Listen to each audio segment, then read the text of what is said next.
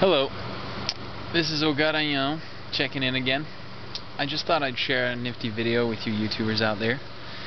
Um, I have a little portable AC unit here that goes into the window. As you can see, it's all set up um, and running.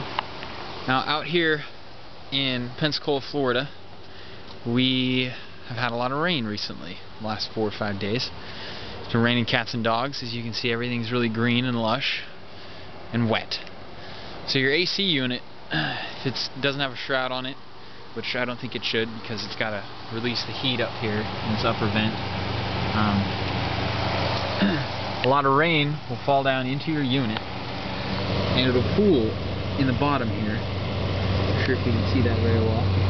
Down in the bottom of the unit it'll pool and the fan that cools the uh, condenser or evap yeah condenser will um, rub against the water there and cause liquid to spray all inside your AC unit could potentially damage it.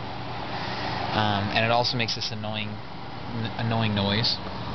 So an easy fix is to take a paper towel such as this one here and roll it up. I took two pieces of paper towel and I rolled it up uh, about a half inch inch thick.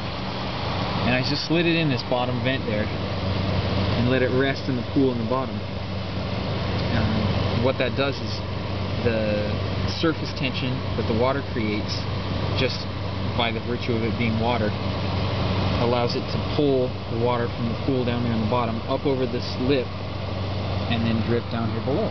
As you can see it's dripping nicely and it's effectively removed the water from my AC unit. That's a quick fix for you. Signing off.